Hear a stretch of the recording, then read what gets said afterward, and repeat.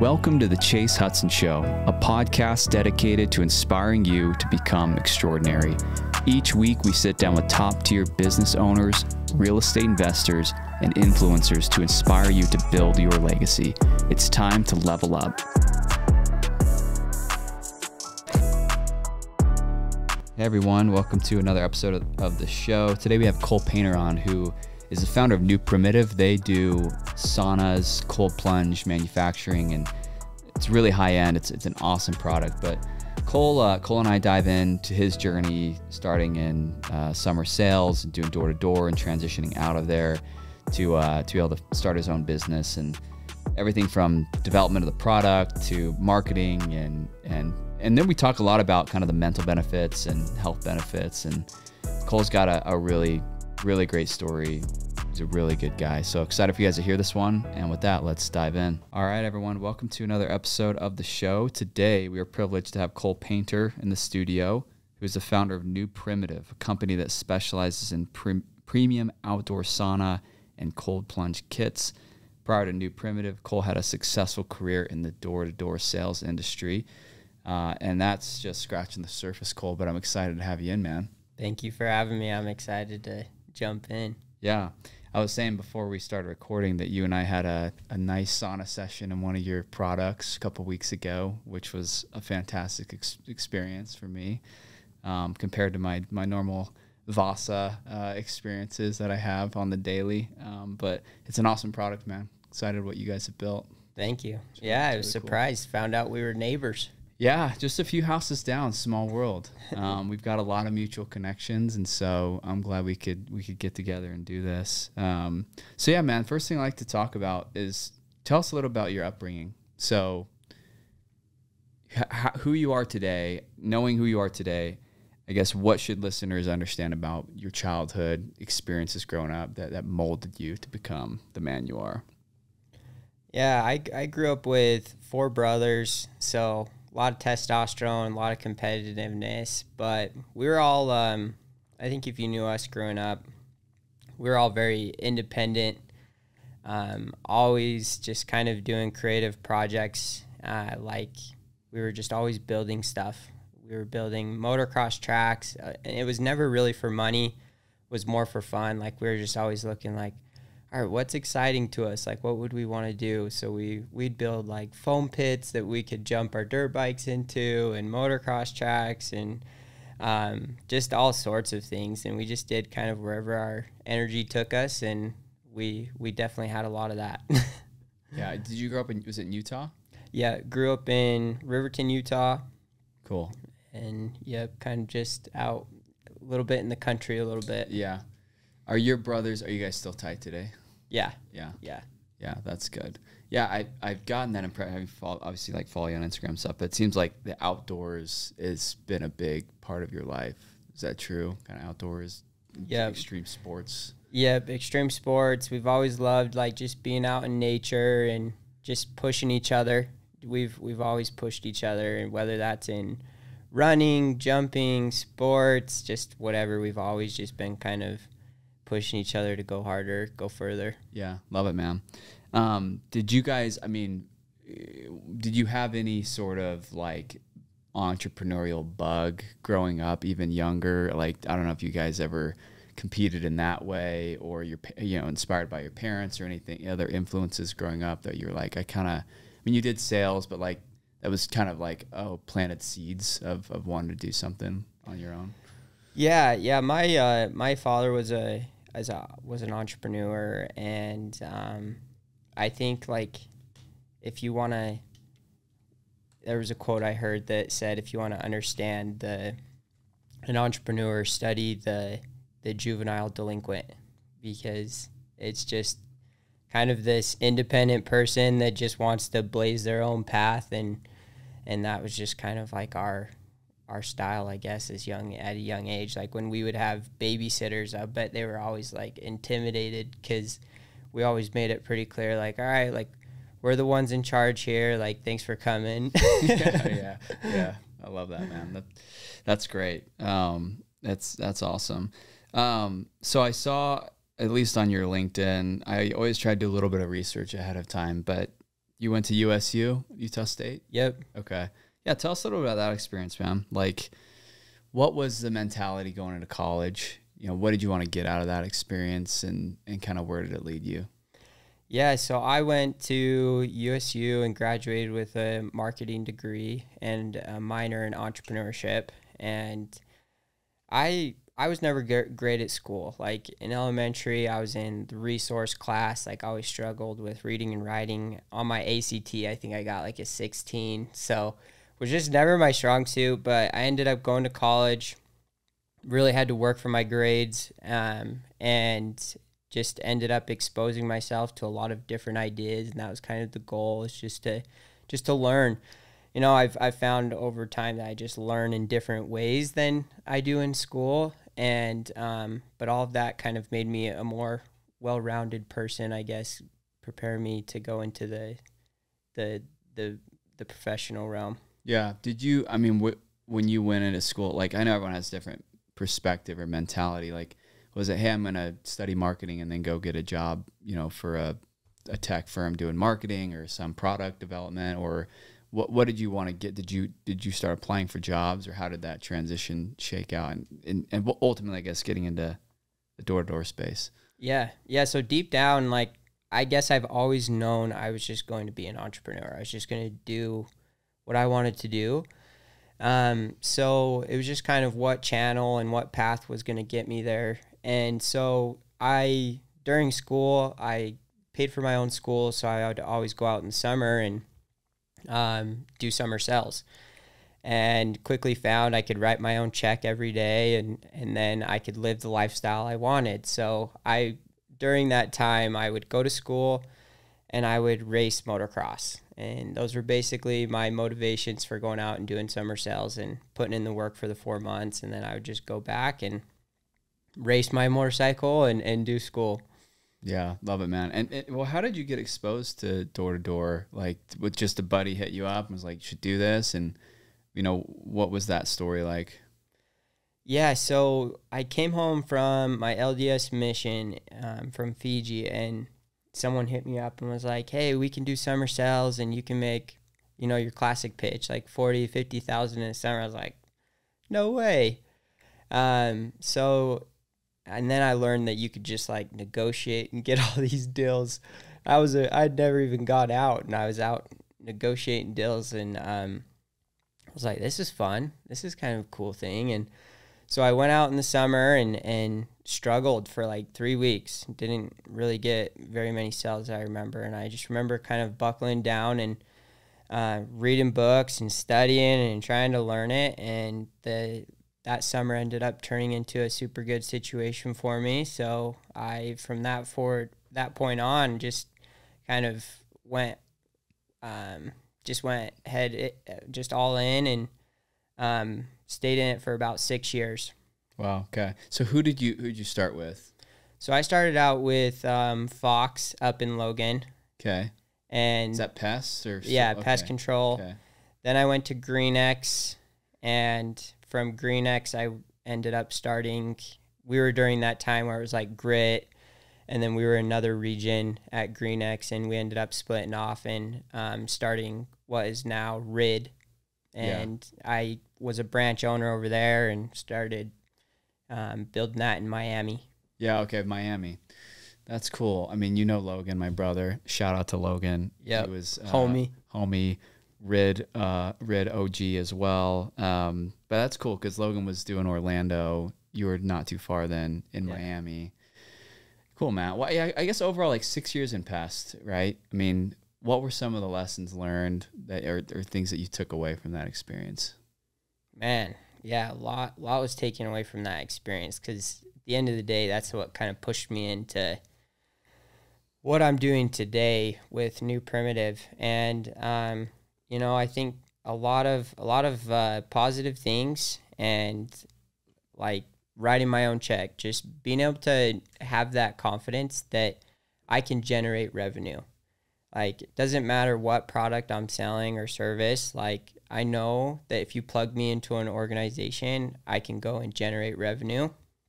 And I think leading teams was another massive like being able to cultivate a space that you know, um, is is has positive energy and brings people together and motivates them to go work and drive to a common goal. Like I think that was probably the biggest lessons I learned. Um, and then yeah, that's then I just kind of got pushed into New Primitive. Yeah, so let's talk about that transition. I guess yeah, for New Primitive, like how were you enjoying the the summer sales gig? I mean, it's a grind, right? It's like four or five months of the year you're on the doors, you're in Florida, it's obviously freaking hot. But it's just you have to have a ton of resilience. And then the recruiting thing as well is like every year kind of resets, right? And you're trying to get your downline built up, your team built up, retention. Like were you tired of it or was it was it more like I, you know, I have a better opportunity here with with New Primitive or were you like kind of done with with that gig or how how, how are you mentally? What was your mental state working in that industry for so long? Yeah, sure. So, yeah, I think like at that time I was very oriented, like achievement oriented. So, like what led me into what I was doing at in school and in my work, like just very achievement oriented and always had to be doing something and um so summer sales I you know, I was productive, but I was getting burnt out and I was getting I was getting super unhappy and just wasn't finding fulfillment where I was at. And um, I think at one point I had ulcers, like I had terrible anxiety and just kind of came to a place where it's like, okay, this just this just isn't working anymore and need to find something that I guess I find I understand it works for other people and this is my own personal experience, but for me, I was like, okay, I've got to find something where I find a little bit more fulfillment and um, self expression in. Yeah, that makes that makes perfect sense. And so, summer sales is very entrepreneurial in itself. I know you you'd had aspirations from a young age to be an entrepreneur, but what, yeah, what gave you the motivation to to leave a well paid gig, take a risk, and start something on your own? Pain like it was just like, okay, that's enough. Like I it was a pretty clear moment. Like it wasn't a decision I waffled in for a second. Like I felt this. I felt that I needed to make this change and I didn't know exactly what I was going to go into. Like I didn't have this insane idea of a business that was going to be profitable and was going to work. It was just like, no, I just knew, kind of had this feeling of what I wanted and that I needed to pursue it. And so when I spoke with my buddies over at Rid and they, they were super cool about it, but I was just kind of like, hey, here's here's the way I'm feeling. Laid out my options. Just said if this is you know if this is what I got to do, then I'm gonna pursue um, this fully. I didn't want to have one foot in Rid and one foot out. Like I knew whatever I wanted to do, I wanted to put my full self in. So that's yeah. that's at the end of the day what I decided to do. Makes sense, man. Um, so, uh, you know, I guess why did you want to get into like the health and wellness space? You know, transitioning from pest control, it's it's it's a different industry, right? There's not a, I mean, there's probably not a ton of overlap, right? So, what was the driving force between choosing that as kind of your target market? Yeah, I mean this this kind of has a whole understory to it, because um, I I was at this time it was during COVID, right?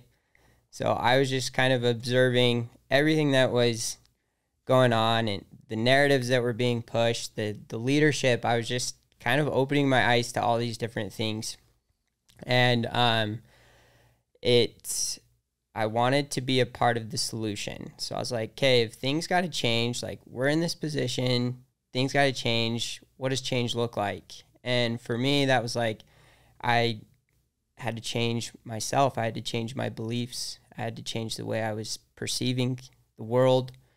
And, um, yeah, so it was, it was a lot of like, and then I wanted to provide something that was just good for people that reconnected people, that brought us back to the to a community and to ourselves and just wanted something that wasn't really focused on money or power.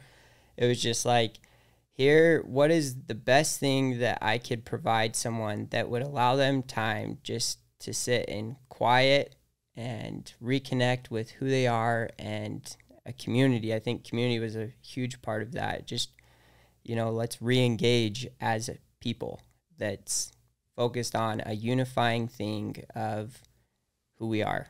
Yeah, love that. And you had like a kind of a health transformation yourself, right? I mean, was it kind of during that time as well? I've seen some stuff that you've posted. Tell us a little bit about that. Yeah, I think there's a time where we all have to kind of look at, you know, what systems are we operating on? And when it's time to upgrade those systems. And I think the systems that I, I was realizing at that time were just, it was time to upgrade. I was, those, the path I was going down was towards burnout and really just unhappiness. So I decided that I was going to make that change. And that's really what the whole pursuit of health and wellness and new primitive was for me was just this whole transformation of myself. So yeah, I decided I was going to, you know, do a crazy um like challenge myself mentally. It was more of like a spiritual thing than it was like running an ultra marathon or starting a business. Like I mean, those two things were great, but they were more just like challenges. Um, I saw as more that I needed to build this self belief and and recreate how I saw myself because at the time it just wasn't wasn't working. Yeah, that's awesome, man. And and I guess more specifically, like why why the sauna and cold plunge? You know, like had you kind of been doing that or looking into it before? I mean, what was it about? Like, all right, I want to start a business. Let's let's focus in on kind of a sauna, a specialized high end sauna. Like, how did that idea come about? Yeah, there's a so there's a passionate side to me that's just very passionate, but then I do have this like kind of business side that um, I was following. Like I follow, I love Alex Hormozi, and I I love um, um, some of these these business guys and as I was following them I was like okay how how am I going to start something quick enough that I'm going to be able to um like the saunas and the cold plunges were the attraction to what I was doing. And so when I started out I wanted to solve rich people problems. So I ended up building saunas and thought that that would be a great tool for them to be able to to add into their daily routine lifestyle. Yeah, and it is, man. It's obviously it's been a big trend the last few years, but I think it's one that I mean, I've looked in some of the research and you know, there's a ton of benefits not just physically but mentally as well. Um, that's great, man. So what so okay, so just timeline. What year was this? Is like 2020, 21 that you quit? You you left Rid Mm-hmm. or okay. Yeah, 2021. 2021. So, had you had like this concept in the works for some time, or was it like, hey, clean break, and then you kind of started from scratch with New Primitive? What was kind of the, the overlap there? Clean break, no plan, Yeah. just So you were out. was going to you're like- make it happen. Yeah, you're like, Yeah. I'm out. I got to do something. Um, yeah. So tell us, like, I love kind of hearing the nitty gritty. Like, you're all right. You you quit Rid. I mean, I guess from a financial standpoint, like, were you in a position that you were like, all right, I can float myself here for a year or two, like, and figure this out, or like, where were you kind of financially, mentally, like? Yeah, I mean state? that's all relative, right? Like people have their comfort level like and it's wherever you set that like you're going to probably stay around. Like if you go below it, you're going to work yourself up pretty quick to get to get up to that point again. And I think my comfort level was pretty low that time. so like yeah, but it like I I definitely wasn't in a position where I was super co- comfortable. Like I definitely had to make something happen. Mm-hmm. And so like me and my wife were we were to the point where we were Airbnb in our house on the weekends. Really? Oh yeah, and we were starting a meal prep business of we were just cooking in our own kitchen and we were doing like 700 meals a week. So, you know, we were hustling like we were we were just doing whatever we could to really make this work for us. Yeah, man. So, uh, so I guess yeah. Were there other business ideas or iterations before New Primitive, or or was that it? Yeah, yeah. So like, I I went through four or five different businesses before I ended up landing on New Primitive as sauna and cold plunges. Like it was always named New Primitive. Okay. But the channel changed. Got it. So I started out in like I was doing some. I wanted to start a preventive care clinic because that was important to me. Was like I I felt like our the way our society was focused was not at the root of problems. So I was like, okay, so we saw that in COVID. So we need to not just focus on all these like external things. Let's get to the root of it and let's do a preventive care clinic where I partnered up with uh, my buddy Peyton Newman that was a physician and then my brother Jens that was a collegiate athlete and we were going to kind of create this dynamic of um, preventive care and then we started doing um, wellness coaching and it just evolved and turned into building saunas. I was really the inspiration was building these tiny home wellness retreats that were out in nature. Like mm. that was the that was the idea was I wanted to create this kind of luxury feel outside in nature on this piece of land in Utah where people could just go out and disconnect from all the distractions and all the chaos and just relax and rejuvenate and then go back and find clarity with what they're doing. Yeah, love that. I mean, yeah, that preventative care is. A, I think that's a solid idea too. Because I, I always tell my wife, I'm like, I guess it's time for my annual physical at like Intermountain Healthcare, like whatever the random like family medicine, and they I go in there and it's like, how are you doing? Well, here's like yeah. you're you're like pal- your basic blood palette test, and then like here's a questionnaire about are you stressed or not. And I just feel like yeah. I'm a child in there. Yeah, like, like that was. On? I mean, that was the thing, man. That's where it came from. Is I had all this anxiety, and I didn't know where it was coming from, and I actually didn't even know how to label it at the time, like how I was feeling. I just didn't feel okay. Like that's how I would describe it. And like all the solutions were, you know, get medications and things that were just going to like SSRIs that were just going to, you know, distribute your serotonin across time. And so I was just like, none of those like really made sense. Just like the, yeah, like the vaccine, it just didn't make sense. Like these, these quick fixes just didn't make sense in my head. And as I observe like the natural processes and things like that, it was just like, okay, so how do we get to the root of these things? And that's that's what we need to be focused on. And and that kind of evolved for me into this like internal dive in. All right what's the root that's creating the right. the expression? Yeah i love that man. Well you know maybe that's a second iteration down the road. So are your bro is your brother and your buddy are, is anyone else involved in new primitive other than you and i guess i don't know if Mikkel's involved but yeah yeah. guys yeah, so right now it's it's just me and I've just been working with I mean, I have a team. I have a team that supports me. Um, like a manufacturing facility, I have digital media, I have, you know, I have my different places, but as far as like um, ownership in the yeah. company, it's just me. Cool. So then going back to like the nitty gritty. So you want you you land on cold plunges and saunas. How did you then go from idea to like concept and like manufacturing? Walk us through that. Like, was it drawing stuff on a board? Were you like hiring a designer? Like, how do you get from A to Z there? By necessity. Um, and it, I mean, it really started out with just a picture. Like, I just, again, like kind of that off grid wellness retreat inspiration I thought the sauna and the cold plunge, having that in your backyard was like the perfect example of what that could represent in someone's life.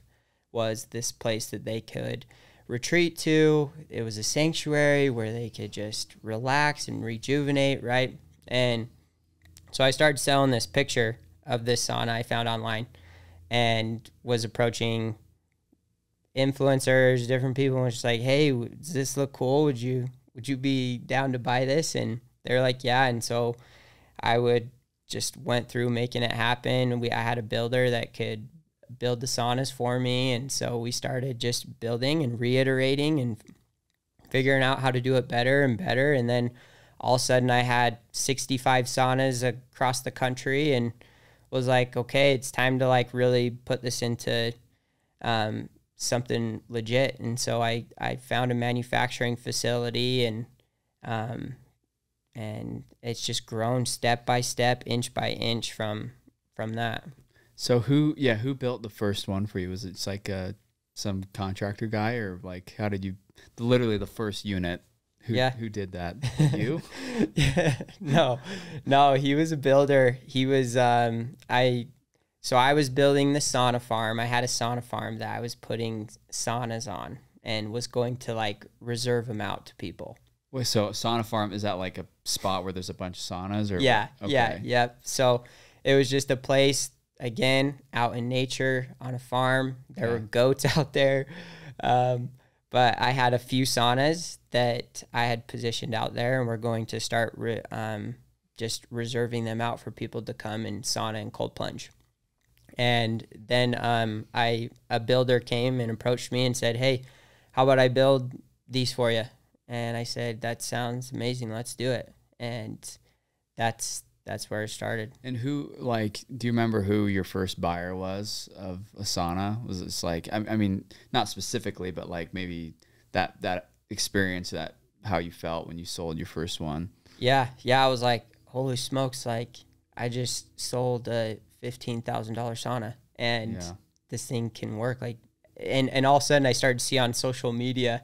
I remember one night specifically, I was scrolling. I was like, "Dang, this is getting popular." Like. Mm-hmm.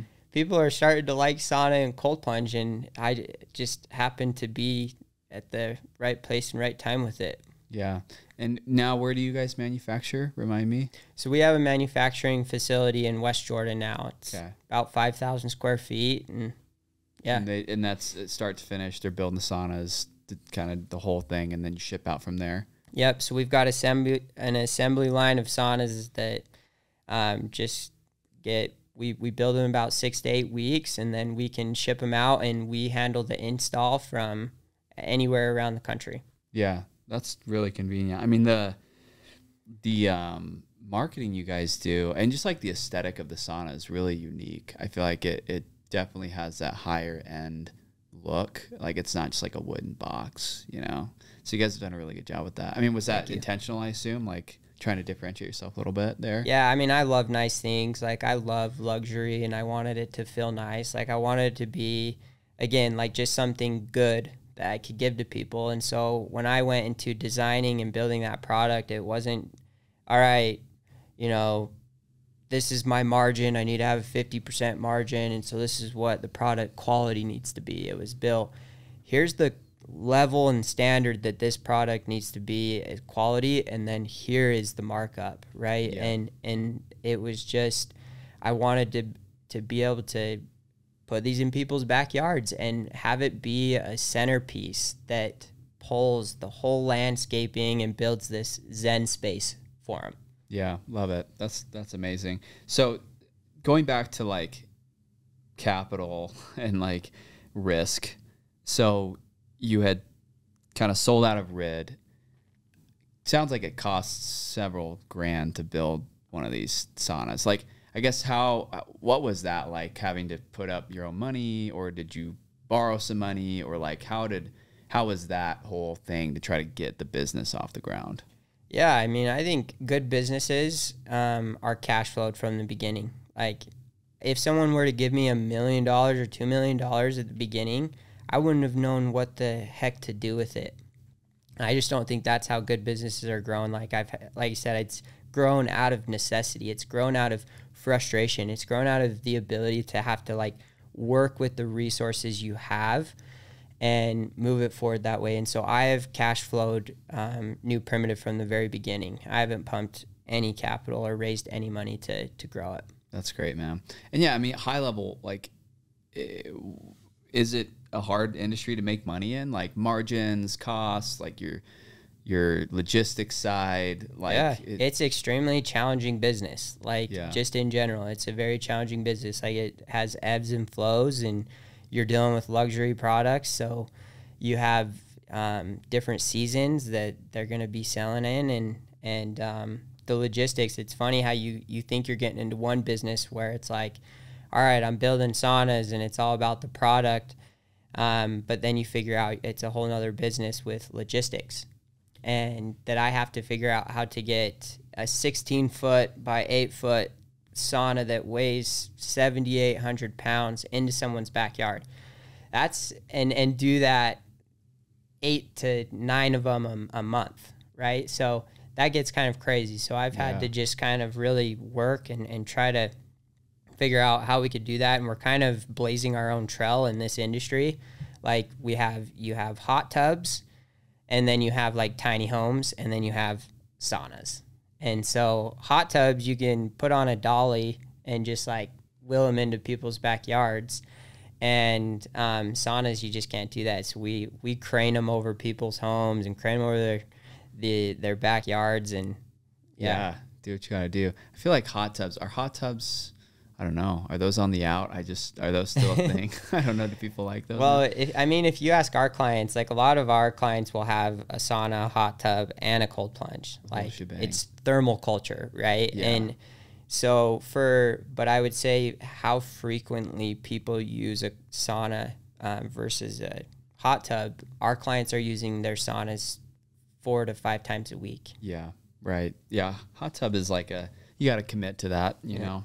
Um, that's awesome, dude. I, I guess yeah. Talk a little bit about your your like marketing sales strategy. Like, how are you getting the word out? How how has growth been for you guys? Yeah, so we first in, initially started out just by doing partnerships with influencers and uh, word of mouth. And in the first couple years, that worked for us really well. Um, it was popular enough and getting a lot of free advertising where people were coming to us and hearing about it and wanted a sauna. Um, but now, you know, um, as we're starting to approach scaling this, and we're we're working on um, telling the story, sharing what the experience can be for people. Because I think right now you hear about all the physical benefits, but I think the the real beautiful part about sauna and cold plunge and where other cultures like Scandinavia and Finland like they do these exercises every single day it's part of their routine where it's more of a mindful and spiritual exercise and I think in our day and age we deal with so much stress but we don't know how to deal with stress. We're not really taught that. Like we're taught in health, like how to go, right? We know movement. We know to eat well. We know to count your macros. Be careful of what calories you're putting in your body, right? But we do, we aren't really taught the recovery aspect and the rest aspect. And that's where I've seen so much benefit in my life where taking that time to when you feel like because this was a challenge for me like remember during summer sales i was go go go and be productive i couldn't lay on the couch and just relax Mm-hmm. Like i felt guilty Yeah. right like man i should be doing something For sure. and so I think that rest and recovery is you start to um, really focus that and ap- apply that into your life. That's when you can start to go further, right? And and actually feel capable of that. Right. Yeah, and I think just yeah, helping people understand that side of it helps a ton from a from like a marketing standpoint because I think a lot of people miss that depth of it. So that's great, man. Well, so yeah, you, ta- you mentioned scaling. So where are you guys at today, and like what's what's your goal going forward? Yeah. So, yeah, exciting times right now. I mean, we have uh, in the in the industry, I we're putting out probably the most high design saunas in the nation, and we're doing it at a affordable price comparatively, right? Because you kind of have the barrel saunas that are really cheap, eight to six thousand dollars, and then you have to install them yourself, and then you have the really custom saunas that are starting at fifty thousand dollars, and so we're right there in the middle of luxury sauna and cold plunge, and we're um, we're really I think just trying to state our our place in the industry and and as a provider of high quality sauna and cold plunge and we're trying we're building right now eight to ten units a, a month and um, just get focused on growing and, and increasing sales and yeah. yeah. Do you guys start manufacturing a sauna after an order is placed, or do you have like kits ready to go? Yeah, so we're building inventory right now. Like our real focus is we what I want to come full circle to is getting back into those like wellness retreats and those luxury resorts. Um, so we're working with like companies like uh, that are on golf courses and resorts, and we're just starting to um, add these luxury amenities to that type of yeah style resort. No kidding. Yeah, if you can crack that code, like if every you know whatever country club in the in the country has a new primitive sauna or like hotel or boutique hotel or mountain resort Airbnb. Exactly. Right? Well, it, that's where it makes sense. I think the most is like, um, you know, our our saunas are they're affordable luxury amenities that are going to last you for decades to come. So, um, for these hotels and these Airbnbs, it's shown to increase their their average nightly rates and increase their occupancy because they rank higher on SEO. Yeah. So uh, going back to marketing, that's where we're kind of focused is just helping Airbnbs and re- these resorts understand like these are growing in popularity and your clientele are going to want them as a part of your offering. Yeah. So if I want to buy one of your saunas, what's the yeah, what's the process like? How do you get one? Yeah, so every client is really special to us and we we really want to make sure that we like we have a relationship with all of our clients um, because I think it is such a special thing to add to. We we love it when customers really like are intentional about their space, like when they want to create it into a genuine like just zen space for them. And so when someone's interested, you know, they kind of have an idea of where they want to place the sauna and the cold plunge, and then we hop on a call and um, we walk them through step by step on how to get their site prepared and how we're going to get that sauna back into place. And then we'll go through some of the design specifics, like you can add an, an XL window that goes from top to bottom so you can have a really beautiful view of like the mountains or you know a nature area like we just had a client put one in front of a, a lake and nice. it's just beautiful so uh, we'll go through some of the design and then you'll put a deposit down with us and we'll place it into our production line, get it built, um, and then we'll ship it out to you and help you get it installed. Yeah, that's awesome. What's timing like from start to finish to get one installed? Yeah, so it's it's a about a six to eight week wait time, mm-hmm. um, and right now we are cre- increasing that inventory so that way we yeah. can start to speed that up and get it to get to the customer faster. Yeah. And then what's like eh, price point range to get like minimum to like the higher end for you guys right now? So we've we've tried to be very intentional about our product offering. Um, we understand people have unique budgets and space requi- requirements in order to get a sauna and a cold plunge. So we have a 16 foot all inclusive sauna and cold plunge combo, right? That's massive and super cool experience.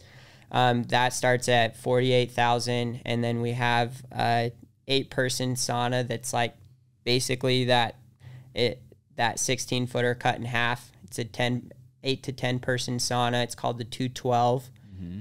Um, and that one starts at 24,000 and then we have a Nook that is our compact, most sleek design. You can basically fit it anywhere in a yard. Um, it's five feet by eight feet, and that one starts at sixteen five. So our price range is range from sixteen five to forty eight thousand, yeah. depending on your space and budget. Was the one that in your yard was that? Which one was that? That was the two twelve. So that was our our eight person. Okay, nice yeah. man. That was great. Yeah, great experience. Well, cool man. And then, uh, like, what's your role right now? I mean, are you like founder? Right? Are you just? You mentioned you have a team. Like, yep. what's your day look like?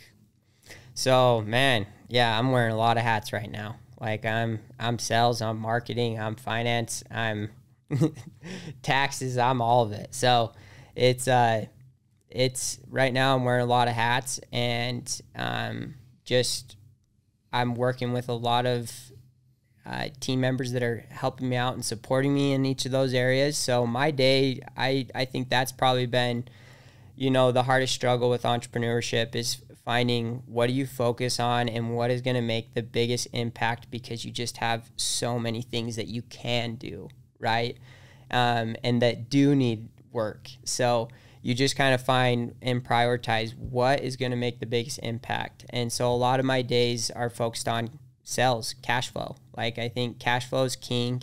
You know all business owners say that because if that runs out then everything else dries out too. So you just got to keep sales coming in the door and you're always marketing always selling. Yeah.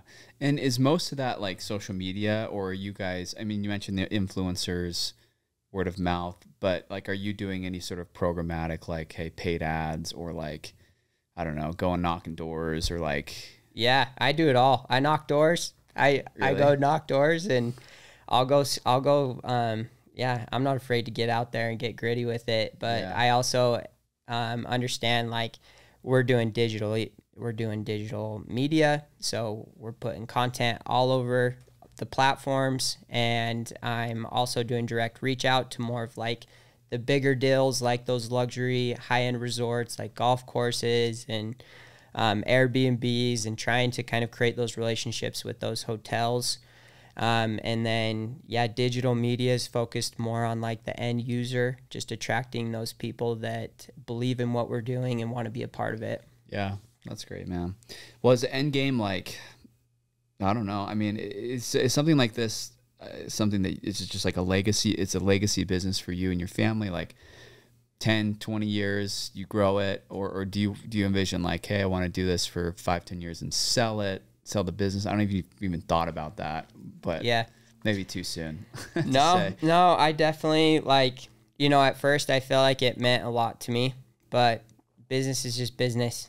Like for me, this is a personal development thing. This is a personal journey. I'm just on my it's not it's not my business legacy. Like that can sell and that can you know the business can be the business. But for me it's about doing what i'm passionate about doing what i what excites me and following that path. Whatever how can i serve my community? Like those those are important things that i'm asking myself throughout this process.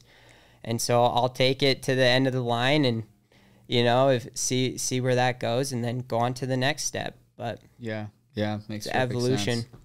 Makes perfect sense, man. Um, well, I, I, I usually we got a few more few more questions here, and we'll, we'll wrap up, Cole. But one thing that I've always found interesting to talk a little bit like about money, and you know, money is um, is a tool. It's something I think it's an amplifier of kind of who you are as a person, but who do you like? How do you think about money? I mean, you're probably making some good money in door to door. Like, how does how does money impact your day to day? Like, as a, as an entrepreneur, there's always kind of that motivation of I want to get to a certain point. But like, how do you think about balancing money with like passion and and everything else you have going on in your life? I think first and foremost, like money follows value. So again, back to the personal development, like who I am. That's gonna generate money, right? Like in summer sales, it wasn't all about like, give me a $5,000 sign on bonus. It was, all right, I'm to go in here and make this undeniable of what I deserve. And if you're not willing to pay me that, then like that's your choice, right? So I'm to go make, I'm to go provide the most value I can to an organization and let that money follow. And so that's just kind of been the principle that I've lived by. It's just money follows value. And if I'm not providing value, then I'm probably not getting paid. So I've got to go back to building my skill set, putting in the work, and making myself more valuable.